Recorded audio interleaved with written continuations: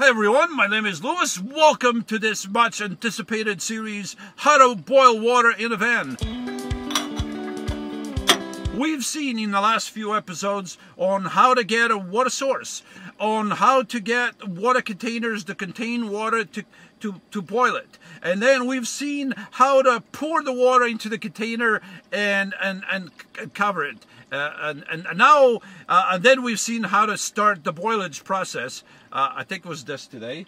Uh, it, it's, it's, uh, yeah. Um, and today we're going to finalize finalize on, on the boiling process, which is highly uh, complicated process, and it should be done by a trained professional only, a trained professional like myself. If you, of course, watch my series, then you're going to be a highly trained professional, and you're going to be able to do it yourself at home. Now that the water is beginning to heat up, all we got to do is you stick your finger in there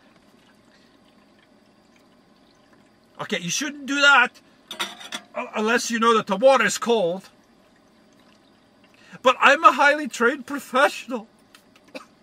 I, I'm okay. I'm a highly trained professional, and I don't get hurt. I it just it just burned a little bit, but I'm okay. I'm okay. I'm a highly, highly trained.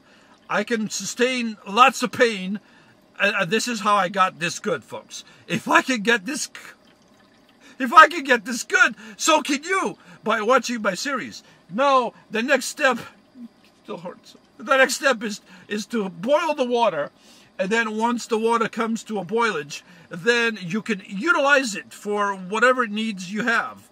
Um, you, you can burn your finger in the water if you want.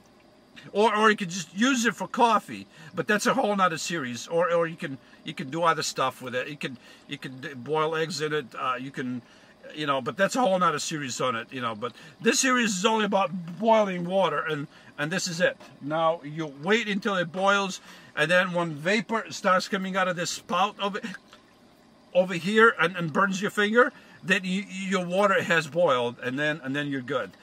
Um, until next time, folks. My name is Lewis, and uh, I'll be seeing you around.